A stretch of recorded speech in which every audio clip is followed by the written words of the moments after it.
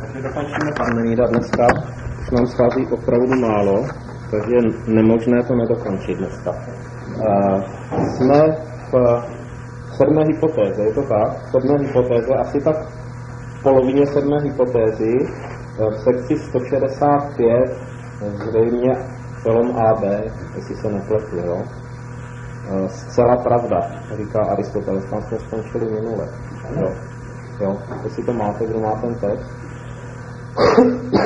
Jo, čili 165, to zřejmě A lomeno B tedy. Dobře, čili my víme, že první čtyři hypotézy byly pozitivní, zbývající čtyři hypotézy jsou negativní. Všechny čtyři hypotézy, čili od 5. do 8. se dají formulovat jako se dají formulovat tímto způsobem. Není-li jedno, co z toho plyne pro jiné od jednoho, neboli pro modality jednoho. Jo? Ale v každé hypotéze na sebe toto tvrzení bere jiný význam. Dobře, jestli si vzpomínáte, o čem se hovoří v té sedmé hypotéze, kde nyní jsme, tak šestá hypotéza, nebo takhle, pátá hypotéza, vzpomínáte si, byla ta první negativní hypotéza. Jo? Tam Platón negoval jedno, ne v absolutním smyslu, ale v tom konceptualistickém smyslu slova. Čili snažil se ukázat, co plyne pro jiné od jednoho, což v tehdejším případě byla mnohost, co plyne pro mnohost, v případě filozofické pozice, která říká, že jedno je pouze náš pojem, že v realitě žádná jednota neexistuje, že, jednota je pouze pojem, který má svůj pozitivní význam, který není za realitu. Dobře, to byla pátá hypotéza. Ano. Šestá hypotéza negovala jedno v absolutním smyslu slova, v návaznosti na uh, pátou hypotézu. A teď jsme v sedmé hypotéze. A tam ten druh negace je jaký? Nominalistický. No, to znamená, že jedno je negováno v jeho metafyzické dimenzi a tvrdí se, že jedno je pouze jazykový obraz. Je to pouze nomen.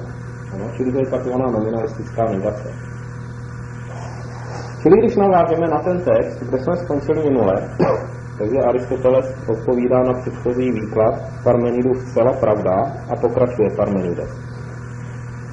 Jest tedy, myslím, nutné, že se rozdrobuje a štěpí veškeré soucno, které kdo pojme myšlenkou. Neboť je patrně asi vždy pojímán zhluk bez pojmu jednoho.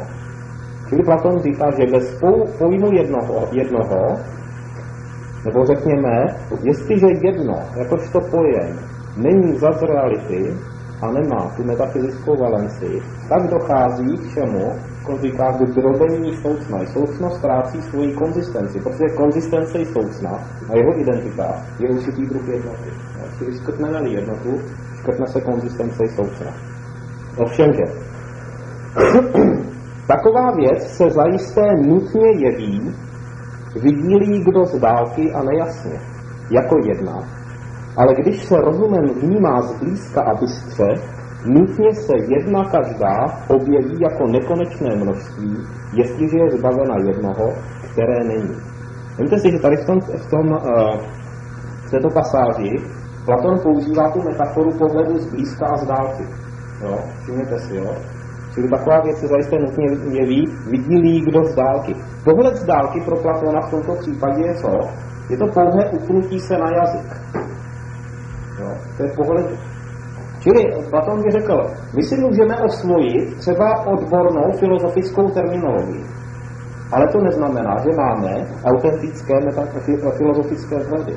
Protože zůstaneme-li pouze na úrovni jazyka, tak je to pouze pohled z dálky, pohled z dálky na filozofické problémy. Abychom skutečně vstoupili do prostřed filozofických problémů, tak musíme jít od jazyka k pojmům a od pojmů k realitě. Jo? Čili pohled z dálky je, je myšlenkové klouzání na úrovni jazyka. Jo? A pohled z blízka je pojmová analýza problémů, a čili reálná analýza, protože pojem je bezprostředně s přítomním reality. pro, pro Platona, jo, jako to realistu. Jo? Čili na úrovni jazyka říkáme, co? Tady ta pozice je tato. Na úrovni jazyka, jo, tvrdíme, existuje pluralita. Ta pluralita čeho? Čehokoliv. Jo? Čehokoliv. Pluralita soucen, pluralita názorů, pluralita náboženství, jakákoliv pluralita, pluralita politických systémů, jo? politických názorů a tak dále. A zároveň, ale říkáme, a, a, a jo, to, je, to je jeden moment této pozice, a druhý moment říká, že jedno je pouze, řekněme, nomen. To znamená, to je ta nominalistická pozice ve vztahu k jednomu. A Platon říká, že odsud sem, jo, čili z této nominalistické pozice, eh, když ji zastáváme, tak to tu pluralitu škrtá, protože my tvrdíme pluralitu sice jazykově, ale to je pouze pohled z dálky, neprecizovaný pohled. Ale ve skutečnosti ta pluralita nemůže existovat v momentě, kdy negujeme objektivní hodnotu pojmu jedno. No. Dobře, čili to jsou vlastně ta pluralita se drobí, protože pluralita, aby byla pluralitou, tak musí se stávat z nějakých ontologických jednotek, které jsou v sobě konzistentní, čili které jsou nadány určitou jednotou. Když tu jednotu škrtneme, nebo eliminujeme-li ji nominalisticky, no tak eliminujeme také tu pluralitu. Jo? Dobře. To je arci zcela nutné. Takto tedy se ty jiné věci, ty jiné věci v této hypotéze znamenají pluralitu tedy, jo. Takto tedy se ty jiné věci musí jevit po každé i neomezenými, i omezenými, i jedním, i mnohými, jestliže jedno není a jsou jiné věci než jedno. Čili je to ta sedmá hypotéza, jo, sedmá hypotéza, a on tady nám tvrdí, že v takovémto případě ty věci se jeví neomezenými i omezenými. Co to znamená? Na úrovni jazyka se zdá, že je to pluralita, jo, která je konzistentní, čili tam určitá omezenost. Ale pohled zblízka, čili pojmová analýza ukazuje, že každý moment plurality se drobí do nekonečna, protože ta jednota není. Jo, čili jsou omezené i neomezené. jsou jedním i mnohým. Každý moment plurality je jeden, ale při blížší analýze se ukazuje, že tam je mnohost, ale vlastně neomezená mnohost. Jo. Dobře. ano, musí. Jistě se budou zdát i podobnými, i nepodobnými. Jak to, ptá Aristoteles? Z dálky, když se trváme na úrovni jazyka, se budou jevit jako na stínovém obrazu všechny jako jedno a že jsou ve, ve stavu totožnosti a podobné. Čili jazykově tvrdíme pluralitu, jo, tvrdíme, že existuje pluralita něčeho, jakákoliv pluralita, a Jo, ty jednotlivé momenty plurality, říká Platon, se v tomto tvrzení budou jevit uh, jako jedno a že jsou ve stavu totožnosti a podobné. Čili každý moment se zdá, že je jeden, každý moment je totožný sám se sebou a že jsou vzájem, ve, ve stavu vzájemné podobnosti. Čili kde je pluralita, tam je podobnost. Jo.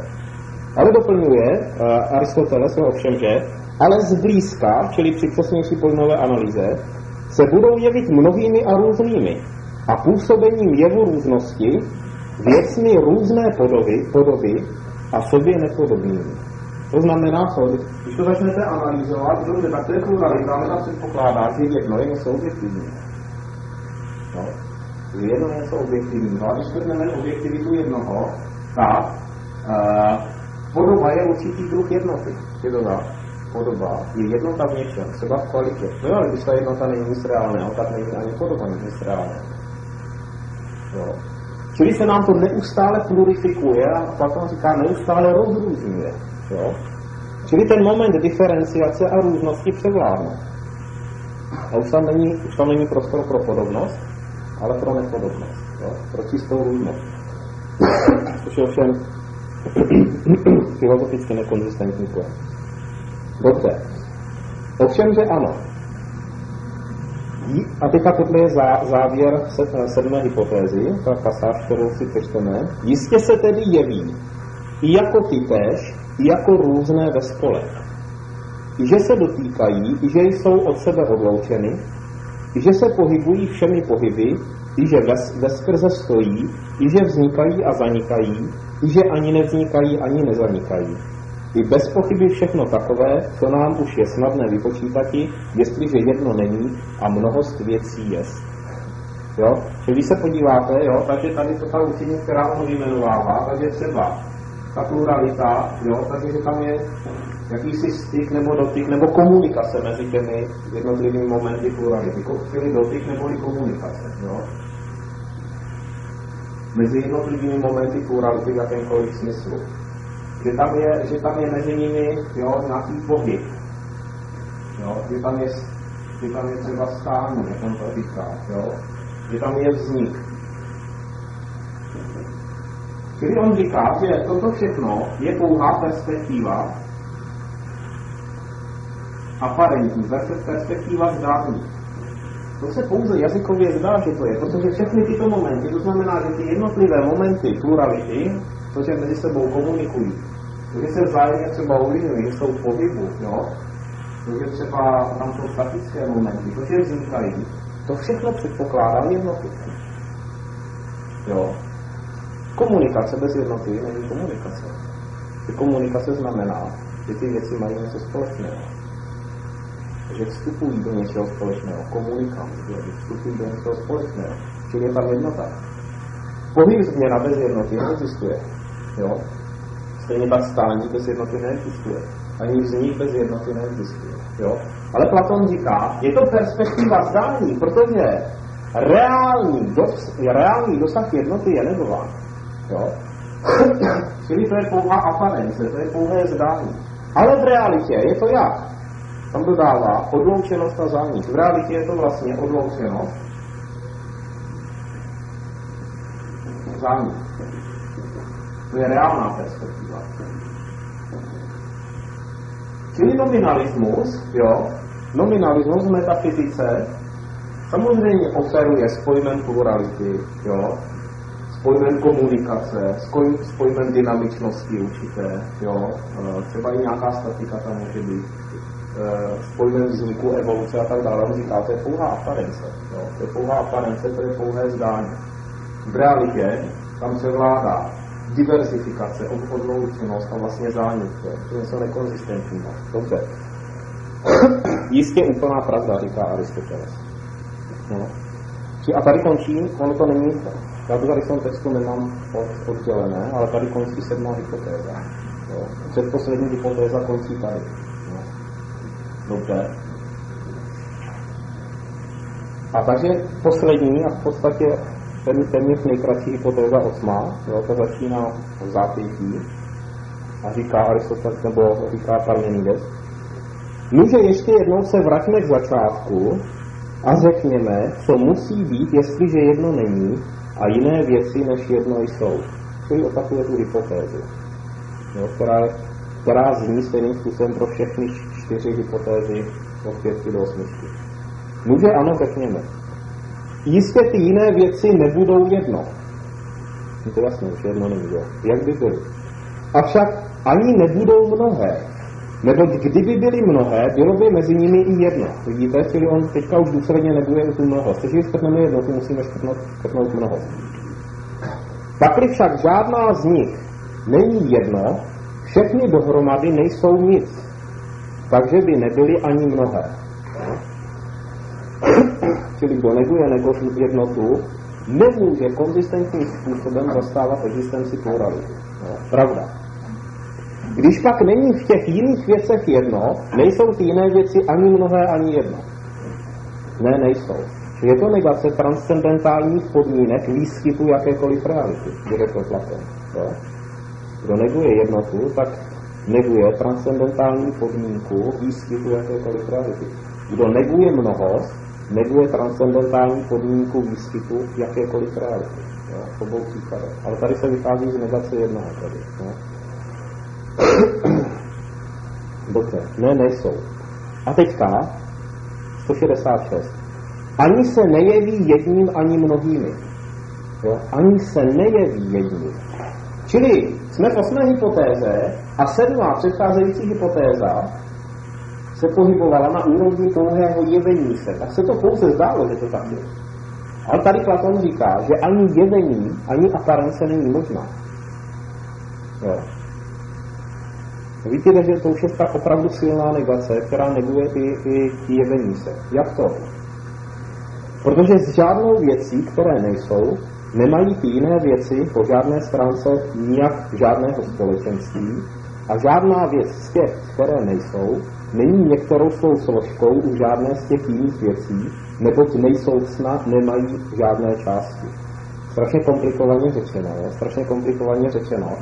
Ale v podstatě, jo, uh, kdybychom to přeložili do nějakého srozumitelnějšího jazyka, tak zase můžeme říct, jo, že jednota pro Platona je podmínkou výskytu jakékoliv reality a dokonce je podmínkou samotného jevení se.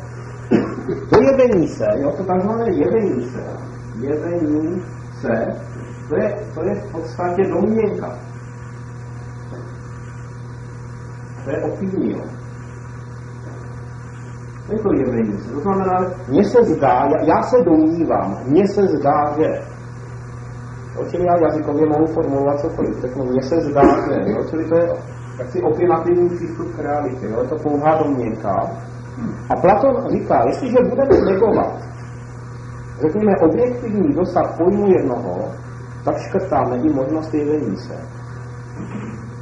Protože jakákoliv domněnka, nebo řekněme takzvaný opinativní odklon od reality, předpokládá, co?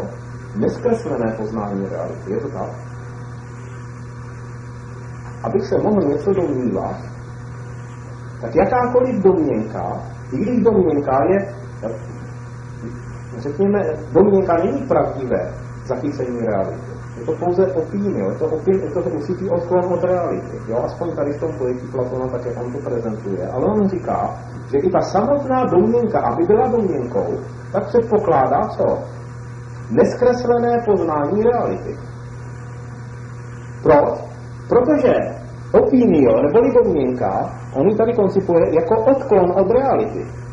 Odklon od pravého poznání reality. Ale jestliže není pravé poznání reality, tak nemůže být ani odklon od té reality. No.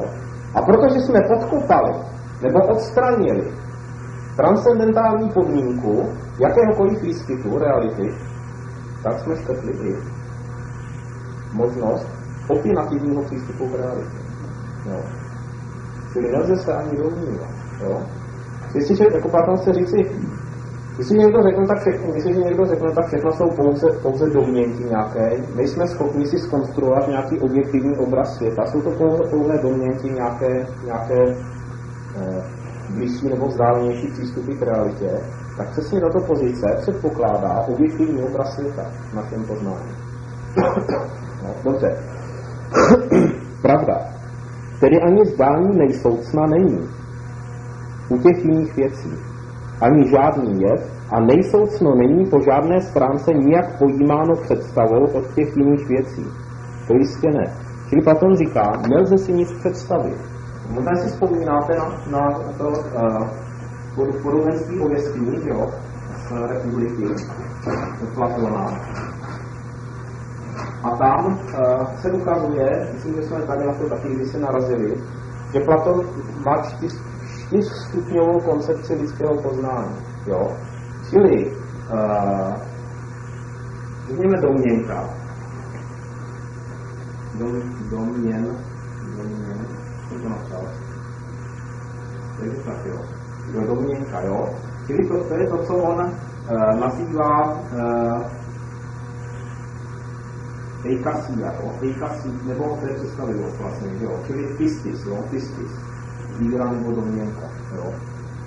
To je v podstatě nejméně in, pistis, jo, nejméně intenzivní způsob kognitivního zachycení skutečnosti. Jo. Tady za, za, za touhle hranici je pouze, řekněme, nějaký omyl, absolutní omyl, který ale neexistuje. Absolutní omyl neexistuje. Jo. Čili tohle je první stupeň, jak kognitivního zachycení reality, domněnka. Jo? Dru, druhý je, řekněme, on, on tam dává představu. Představa, to nazývá eikasia. Jo? Tam je to ještě samozřejmě vázáno na Platonovu metafyzickou koncepci reality. On říká, že uh, nahodilá jsou hmotná,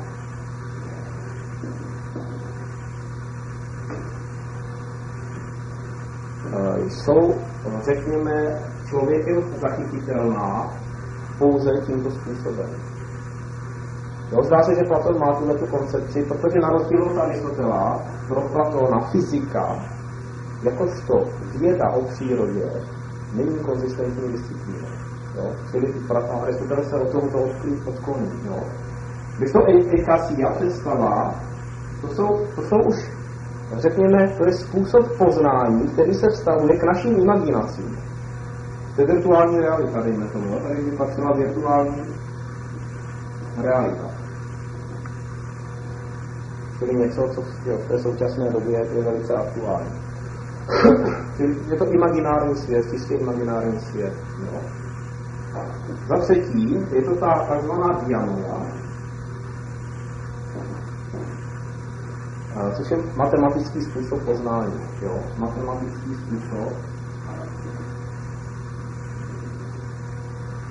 Čili to je způsob poznání, který zachycuje realitu, která je objektivní a která je natolik stabilní, že dovoluje velice přesné poznání.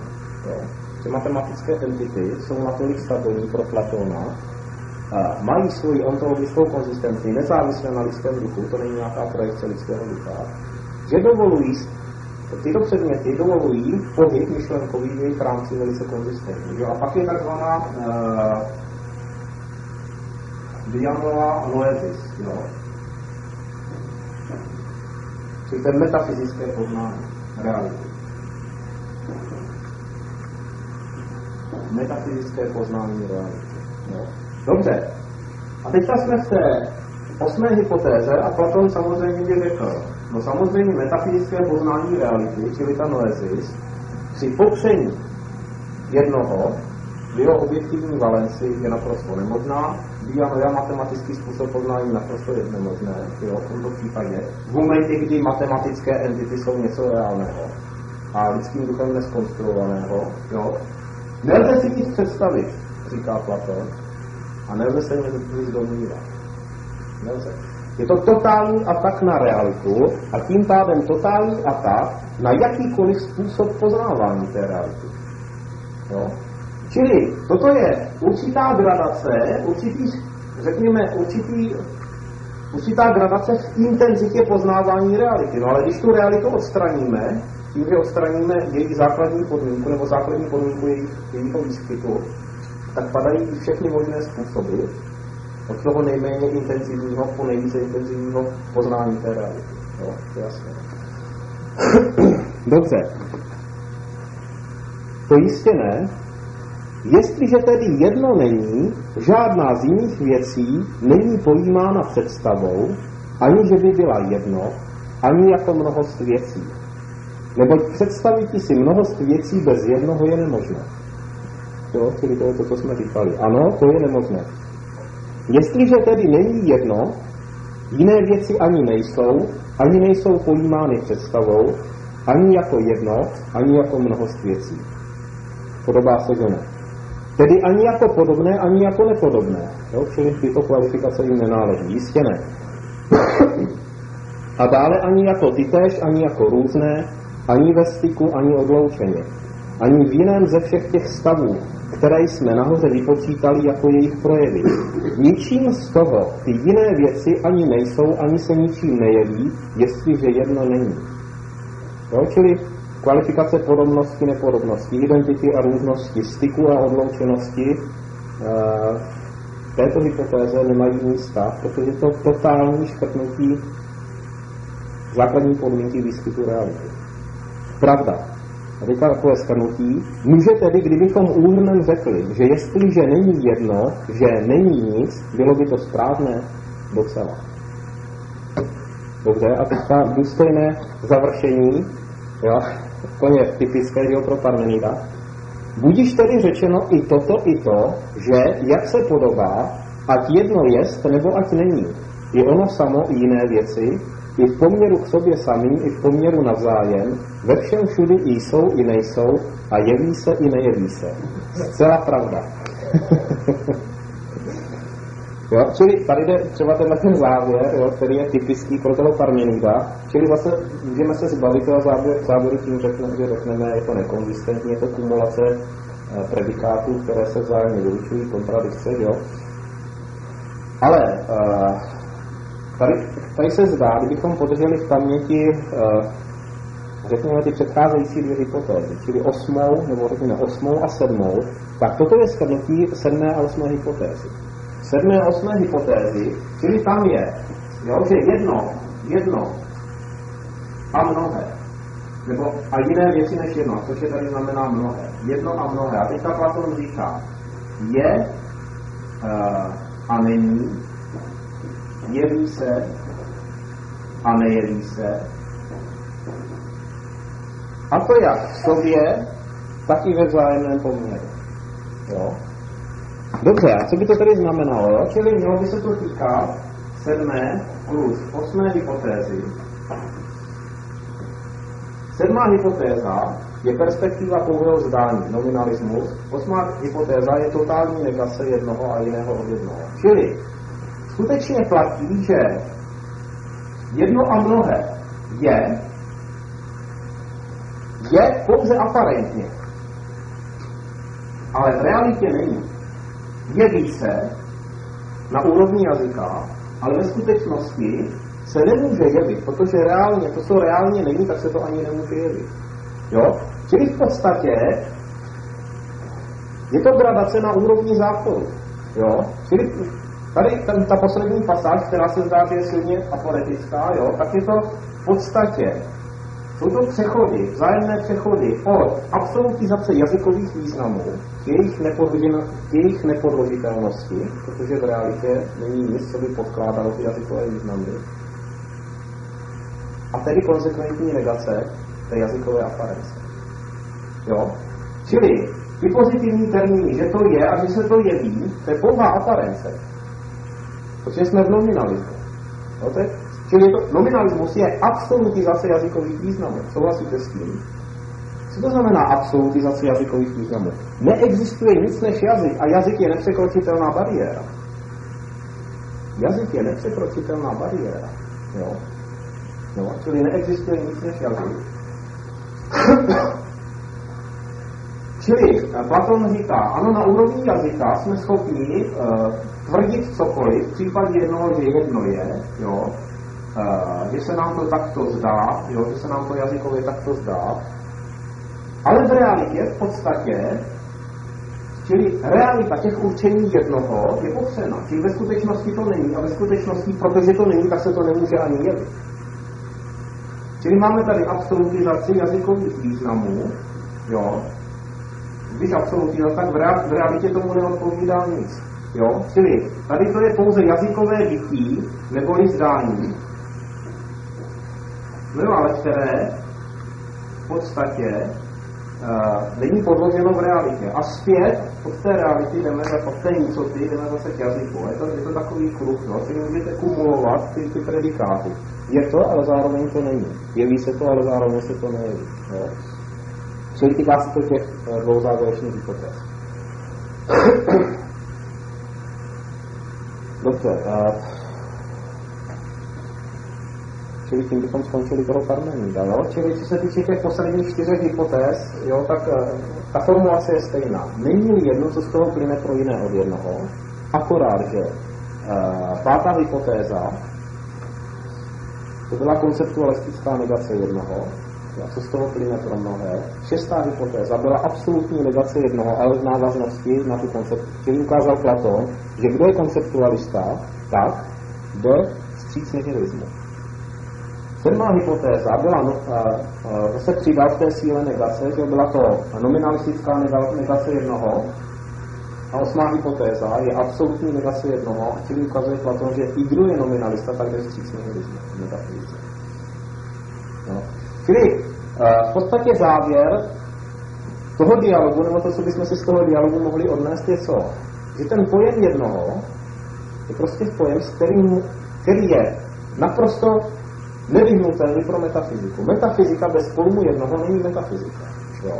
A my s tím pojmem musíme nakládat velice obezřetně. To znamená, musíme trvat na jeho objektivním významu, ale samozřejmě nemůžeme dát naše, na naše bezprostřední zdání a myslet, že jedno znamená pouze jedno. Čili musíme do toho jednoho zavést i něco jiného, než je jedno. Čili jeho vnitřní modality. Jo. Čili Platon ukazuje, že esence metafyzického poznání je přesně toto. Jo? Je to vytváření si všeobsáhlých pojmů, transcendentálních pojmů, které jsou zevnitř diferencovány. To znamená, které v sobě nesou svoj, svoji vlastní negaci, ale ta negace není absolutní. Ty negace jsou produktivní, myslou pozitivní. Jo? Čili transcendentální pojem zahrnuje absolutně všechno. Pojem jednoho nemůže znamenat pouze jedno, ale znamená i jiné věci než jedno. A ty jiné věci než jedno, neboli modality jednoho, se musí od jednoho lišit, jinak by nebyly jiné. Jak se liší? Nějakou negací. Protože jedno není jiné než jedno. Jo? Čili není, čili je tam negace. Jenže ta negace není absolutní. Ta negace není absolutní. Ta negace je produktivní, že vytváří pozitivní mody. No, to je platonská dialektika. A negace vytváří pozitivní mody.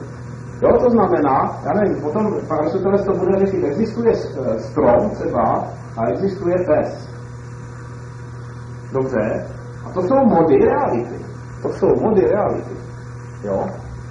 A strom není pes. Čili je tam negativní moment mezi strom, stromem a psem. Jo? Ale je to v rámci, ale obojí je skutečnost. Čili ta negace spadá do rámce skutečného a není absolutní. Není to nihilistická negace. Je to negace, která spolu podmiňuje výskyt něčeho pozitivního. je to tak. Neboli, když se odvoláme na Platónova sofistu, dialog, tak ta negace je různost. Diverzita je negace. Je to určitý druh negace, ale ne čistá negace. On se musí potom reflektovat metafyzicky, co je to za různost. Jo? Čili různost, řekl by Platon, je relativní re- negace, která vede k ustavení něčeho pozitivního.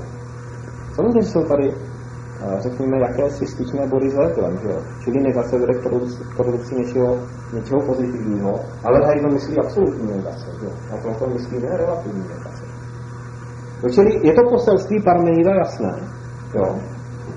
Transcendentální pojem, čili v tomto případě pojem jednoho, který nemůže znamenat pouze jedno, čili musí znamenat i něco jiného od jednoho. A čím se liší jiné od jednoho ve vztahu k jednomu? No svojí jiností, to znamená negací. Ale ta negace nemůže být absolutní. Proč? Protože to jedno vstupuje do jiného od jednoho. Jednota například vstupuje do, do mnohosti. Je to tak. Čili ta negace není absolutní, ale je to negace, která se spolu podílí na ustavování pozitivních modů, skutečnosti, jednoty, dobra a tak dále. Jo. Dobře, tak jako, a v tom, je, v tom vidí Platon hlavní obtíž metafyzického myšlení. Jo. Čili on se skutečně dotkl centrálního problému metafyziky Platon. A uvidíme u toho Aristotela skutečně, že to, že to je problém, že s tím Aristoteles také pracuje a že i přes svoje vnější proklamace vůči Platonovi je zavřený do stejných problémů jako Platon.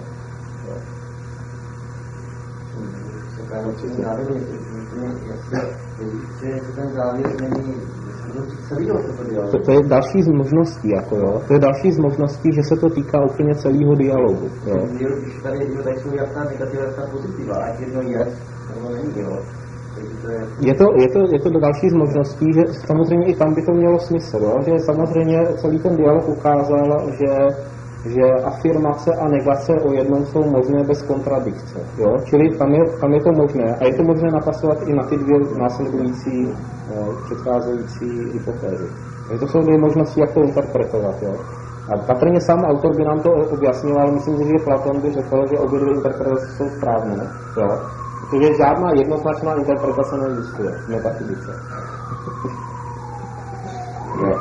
Prosím pěkně, kde začíná šestá hypotéza? Šestá, jo? Šestá a pátá. Šestá a pátá, já jsem si to tady poznamenal.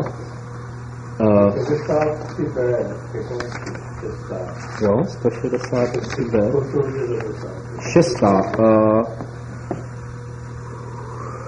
já to tady mám. Uh, Takže vraťme se ještě jednou k desátku. může vraťme se ještě jednou k začátku, no. A kolik je to máte vy, jste říkal? To mám 163B ke konci. 163B, jasně. Může vraťme se ještě jednou k začátku, abychom se podívali. Jo, tam začíná šestka. Sedmička, eh, 164 asi B, jo. A ještě promluvme o tom, co se musí díti s jinými věcmi, jestliže jedno není. Jo, tak jsem si to... Jo, Jo? ano. 164 a pětka, 160B. počka, tohle byla, pardon, to je, se- eh, to je, to je sedmička, ne? Teď jsme hovořili o... 164B. No, a, a teďka osmička, jo? Osmička, to jste zachytil, ne? To je 160, 165 a asi B, zřejmě. Čili šestka začíná 163B, konec. A No. pětka začíná Jo, pětku jste chtěl ještě, jo? 160B, jo. A pětka, pětka, tady mám čtyřku. Pětka. Dobrá, jestliže však jedno není, zdali pak bychom neměli dále zkoumati. Čili eh, říkáte 100, 160 B, 160 B. No. A e, jak to zní, jak to čte? Jak to čtete? Tu, hypo, tu pátou. Dobrá, jestliže však jedno není, jo, začíná to dobrá, středník, jestliže však jedno není, zdali pak bychom neměli dále zkoumat, co z toho nutně vyplývá. Je to ke konci strany 66. Jo, vy máte stejný vydání, jo. Takže, Ale ty 66? Jo. No, tak ke konci dole. no, dobře.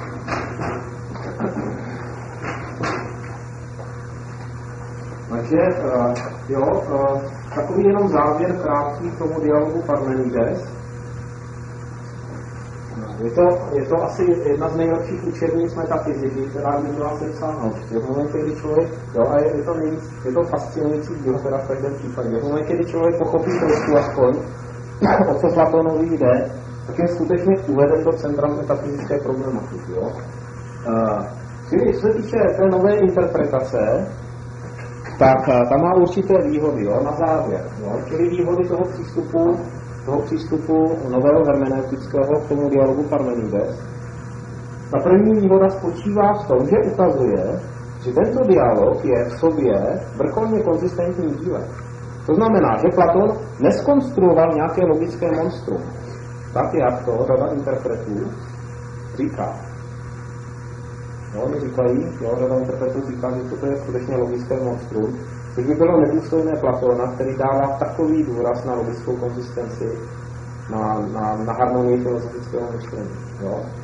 Druhý, řekněme, eh, druhé pozitivum toho nového hermenického přístupu spočívá v tom, že zajišťuje jednotu, to plyne z té- jedničky, jednotu toho dialogu Parmenides. Jo.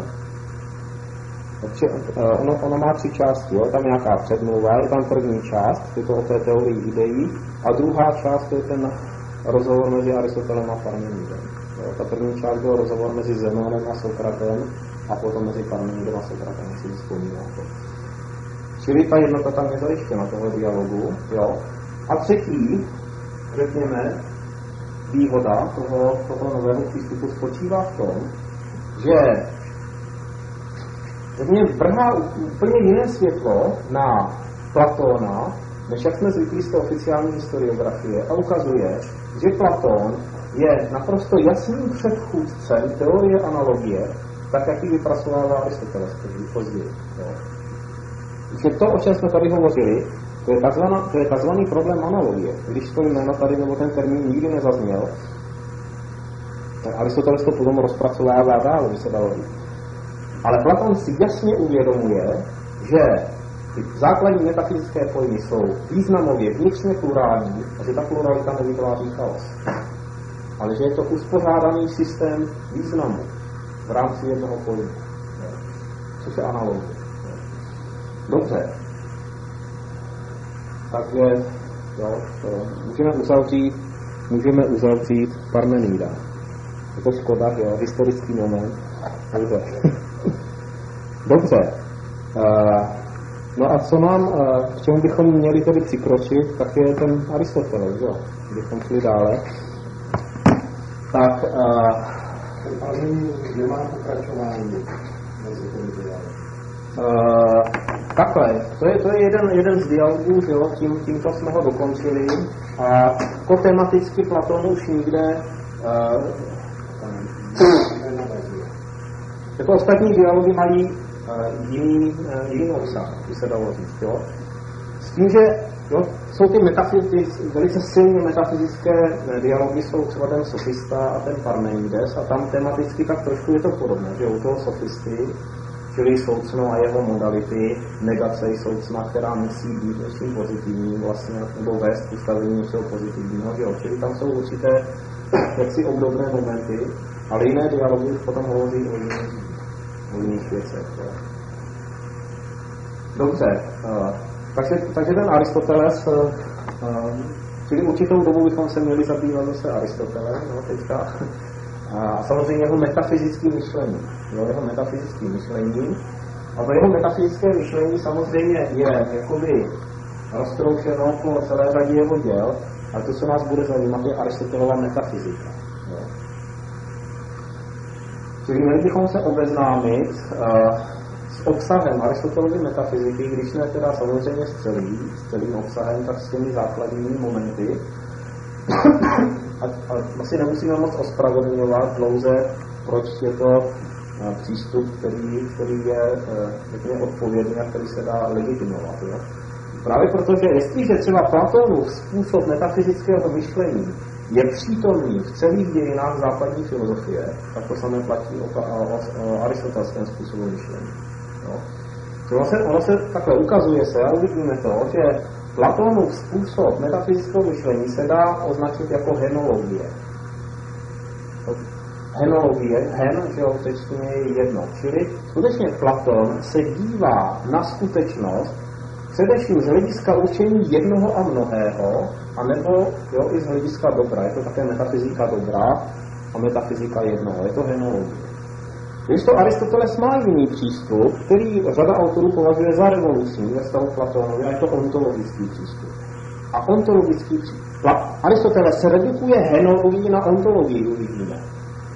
Když budeme předbíhat, tak když si vezmete desátou knihu Aristotelovy metafyziky, která je věnována problému jednoho, jo, tak tam uvidíme, že, že Aristoteles se snaží převést platonský henologický pohled na skutečnost na ontologický pohled.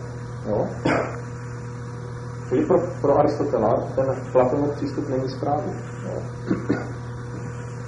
A, dobře, ale jsou, jsou v současné době jo, je celá řada metafyziků, kteří říkají, ne, ten hen, henologický pohled Platonův je, je správný, je dokonce lepší než ten Aristotelův, a když ne lepší, tak je to aspoň komplementární přístup metafyzický. Jo? Čili jo, to, je, to je samozřejmě otázka potom, jak to rozhodnout. Jo, čili ten vliv Aristotela uh, je tak obrovský v dějinách západní, západní filozofie, že musíme jít ke zdroji, musíme jít ke zdroji a seznámit se s obsahem metafyziky. Jo? A to je jednak z toho důvodu, abychom, uh, abychom nepodlehli těm uh, přístupům, které jsou uh, příliš euforické, jo? čili takové ty návraty k Aristotelovi, které jsou nekritické, že jo, které se také dějí. A nebo abychom nepodlehli mm, kritice, že jo, jednoznačné, která říká, Aristoteles to patří do starého železa a není tam nic, co by se dalo teoreticky zhodnotit. To není pravda. Dobře. Takže co s tím, Arist, co s tím Aristotelem? Budeme se zaměřovat na jeho, na jeho metafyziku. A první věc, na kterou bychom nejdříve upozornili, je to, že pro Aristotela Metafyzika je filozofická disciplína, která je absolutně neobejitelná, neobejitelná se říká. Je to tak? Dá se to říct. Čili je to, řekněme, je to, je to disciplína, které se myslící tvor, jakýkoliv myslící tvor, nemůže vyhnout. Říká, říká Aristoteles. Čili metafyzika není pouze věcí specialistů, kteří jsou školení, by se dalo říct, vzdělání v metafyzických problémech, ale Aristoteles zastává pozici, že každý člověk je metafyzikem.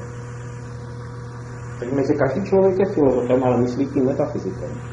Čili pro Aristotela, že to je známá věc, člověk nestojí před alternativou filozofovat anebo nefilozofovat, ale před alternativou dobře filozofovat anebo špatně filozofovat.